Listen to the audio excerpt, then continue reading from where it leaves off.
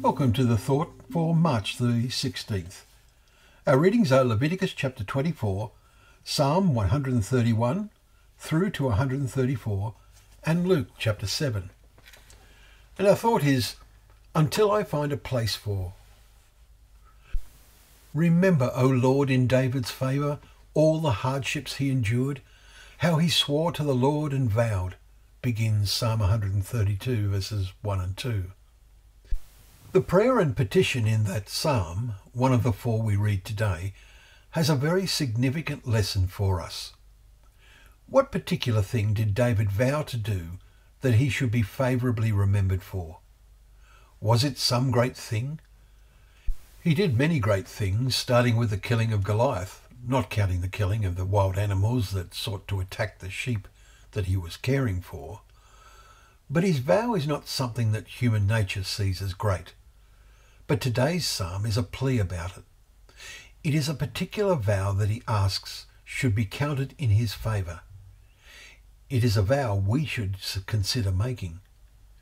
He vowed, I will not enter my house or get into my bed. I will not give sleep to my eyes or slumber to my eyelids until I find a place for the Lord, a dwelling place for the mighty one of Jacob. Verses 3 and 5. David cannot mean he is going to build a literal temple for the Almighty, nor can he mean the tabernacle, for the Lord had had a dwelling place there for centuries.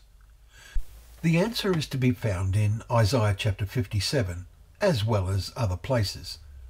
There we read, For thus says the one who is high and lifted up, who inhabits eternity, whose name is holy.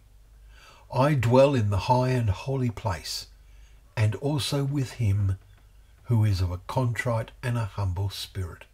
Verse 15. So the dwelling place that David vowed to find for the Lord was in his own heart. To do that, he had to mentally prostrate himself before the Lord.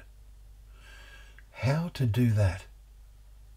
We suggest a factor in this is getting yourself to imagine the unimaginable but we have to try to comprehend God's immeasurable greatness and how he desires to dwell in the hearts of the humble.